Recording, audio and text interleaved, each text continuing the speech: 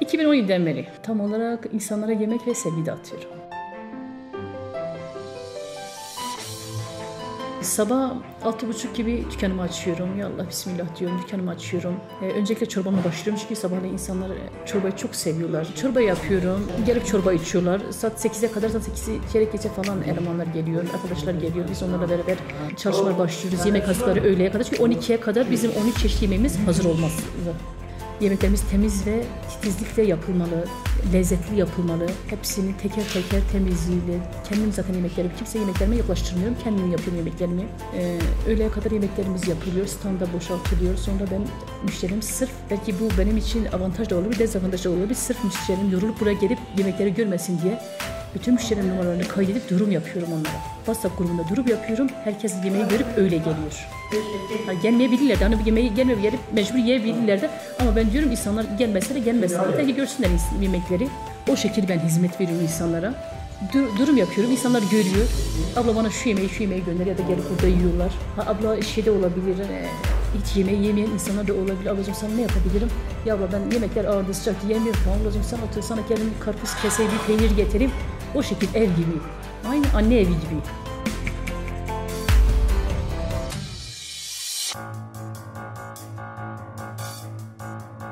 Üç senesinin öncesinde ben evden çıkmazdım. Evde otururdum bütün gün televizyon izle. Ama neden yani ben de çalışmayayım, neden insanlarla daha iyi iletişim kurdum, kendi paramı kazandım, ihtiyacım olduğunda kendi paramı harcadım, çocuğumu lazım oldu. Kendim gönderdim, hiç eşimi karıştırmadan bu işe, bu e, insana çok şey katıyor.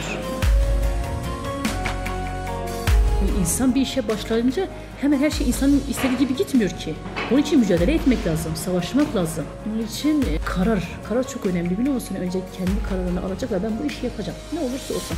Ben bu işe başlamadan önce ben tezgahtarlık yapıyordum. Benim akrabalarım dedi ki bana dedi evde abla yemek yap getir. Biz hem sen elbise satarsın hem de biz o yemekleri alırız. Ben gece 12'de kalkıyordum. Yemekleri yapıyordum. Saat sabahın dördüne kadar. 8'de o yemekleri getirdim. Dükkanın üst katını elbise satılıyordu aşağıda. Ben o yemekleri öğleleyin öğleye kadar tezgahtarlık yapıyordum. Öğleleyin o yemekleri dağıtıyordum. Öğleden sonra bulaşıkları yıkıp eve gönderiyordum. İki işi aynı anda yapıyordum.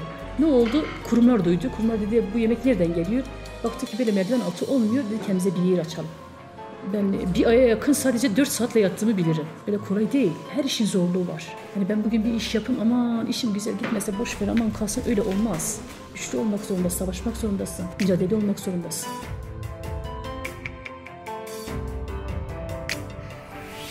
İnsanlar benim misafirime çok gelirdi. Ben insanlara yemek yedirmeyi çok severdim. İnsanlar bana söylerdi ya Songül sen bu kadar güzel yemek yapıyorsun. Neden bir iş yerin olması? Neden biz gelip yemek yemeyelim? Neden yani hem para kazanırsın hem aile bütçeni? Ben hep derdim yani vallahi belki iş ama ben birkaç defa girişinde bulundum. Hani birkaç kişiye dedim hani bana bir destek çıkın da ben iş yerini açayım.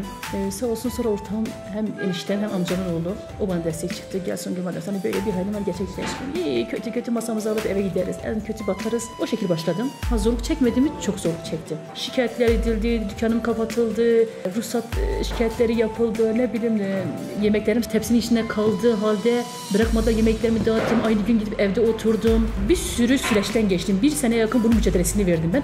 Ama pes etmedim. Asla. Ben hayallerimin peşinden koştum. İlk başlarda ben e, bir iki ay yakın sürekli eleştiri gelirdi. Aa yemek kötüydü, aa şöyle oldu, aa böyle oldu. Git evinde otur, çoluk çocuğun yanında otur. Ne işin var senin bu kargaşa giriyorsun, bu işe giriyorsun dedi, diyen çok oldu. Sağ olsun benim ortağım bu konuda bana çok destek verdi. Dedi ki dedi, şimdi sen insanlara ne kulak asıyorsun? İnsanlar için sen evinde aç otursa kim sana gelip bir ekmek verecek? Kim senin kapını çalıp sana bir parça ekmek verecek? Beni motive ediyordu. Bizim ilçede kadın olmak bir kere zor. Bir kadın olarak yürüp gitmen bile bir zor. Bir de kalkıp esnaf olmak daha da zor. Ama ne var ki insanlar alışıyor. İnsanlar alışacaksın. Pes edip evde oturmayacaksın. Arkadaşım ben burada çalışıyorum, ekmeğimi kazanıyorum. Varsa bir sorun gel benim yüzüme karşı söyleyeceksin. Zorlukla yaşamadım, tabii ki yaşadım. Başlangıçta benim e, arkadaşlar çoğu beni şikayet etmişlerdi. Esnaf diğer lokantalarda beni şikayet etmişlerdi. Bunu ben yüzlerine karşı da söyledim. Kesinlikle gizli saklım yok benim. E, o zorluklarım vardı. Git evinde otur, ne işin var, yemekleri ucuz veriyorsun, insanlar sana geliyor. Hayır, insanlar yemeğe gelmiyor. Ben bu ilçede dükkan açtıktan sonra lokantalarda insanlara kibar davranmayı öğrendim. Onu ben belki yemeğim kötü olabilir, her şey kötü olabilir ama ben Kesinlikle insanlara saygı nasıl gösterilir, sevgi nasıl gösterilir ürettiği. Mühim olan bu zorlukları aşmak. Ne kadar zor olursa olsun bu zorlukları aşmak.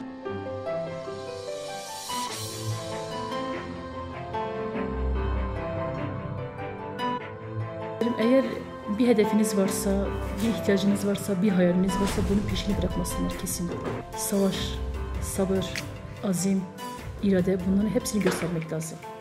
Hemen olmadı, bıktım ama işler kötü gitti, hayır. Benim işler iyi mi gitti, hayır. Kötü gitti anlar oldu. Hiç müşteri gelmedi anlar da oldu. Ama ben biliyordum ki ben insanlar beni seviyor, insanlar para olmuyor, o her gün dışarıda yemek yemeyebilir ama pes etmedim asla. Dükkanlarım kapatıldı, her türlü zorluklarla karşılaştım. Ben beş tane dükkan yıkayıp boyadım, taşındım içine. Ben her beşinde atıldım. Kimi dükkanını geri aldı, kimi ruhsat yüzüne beni şikayet etti falan da filan. Ben her beş dükkana da atıldım ben. Ben en son gidip Kaymakam Bey'e müracaat ettim. Sağ olsun Osman Doğramacı Bey bana destek çıktı. Pes edebilirdim de. Ben yemekleri aldım gittim bir ay evde kaldım. Baktım olmadı yani ben savaşı kaybetmiş gibiydim. Çok üzgündüm. Ne yaptım? Bırakmadım peşini. Kendim bizzat kaymakam bey'e çıktım. Ben böyle bir durum var. Ben insanları kabul etmiyorum. Ben insanları kendimi kabullendireceğim. Ben ne yaptım? İnsanlar beni kabul etti.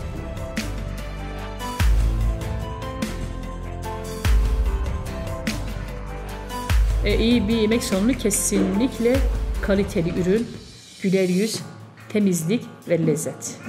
Bunlar birbirini tamamlayan şeyler. Kesinlikle bunlar olmalı. Öncelikle temizlik olmalı, kaliteli ürünler yapmalısın ve lezzetli yemekler sunmalısın ve bunu sunarken de güler yüzlü olmalısın. Bunlar olmazsa olmaz. Merdiven altı malzemelerle yapılmaz bu iş. Her şeyin kalitesinden yapılır. Elin lezzeti olacak, yemeği bilen biri olacak, kendine güvenen biri olacak, tatlı dilli biri olacak. Ha, herkes annesinin karnında öğrenmiyor. Her şeyde öğrenilir. Her şeyde bilinir zamanla. Ama dediğim gibi her şeyin kalitelisi. Güzeli ve kalitesi. Şimdi kadınlar kesinlikle kendi ayaklarının üzerine durmalı. Sabah kalkıp kocasından bir 10 lira ver, bir 20 lira ver dememeli. Ne olursa olsun evde işte yapılır, satılır, e, hayvancılık da yapılır. Bunlar da iş, bunlar asıl iş bunlar. Mühim olan kadının güçlü olması. E, esnaf olmak zor. Özellikle kadın esnaf olmak daha zor. Bir de ilçe küçük olunca daha da çok zor. Mühim olan bu zorlukları aşmak. Çok şükür ben aştığımı düşünüyorum. Ben insanlara kendimi kabullendirdiğimi düşünüyorum.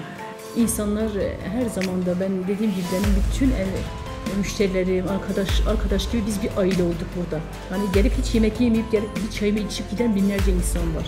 Bu beni çok mutlu ediyor. Biz bir aile gibi olduk burada. Şükürler olsun Allah'ım. Başka ne isteyebilirim ki? Rızkı zaten Allah veriyor.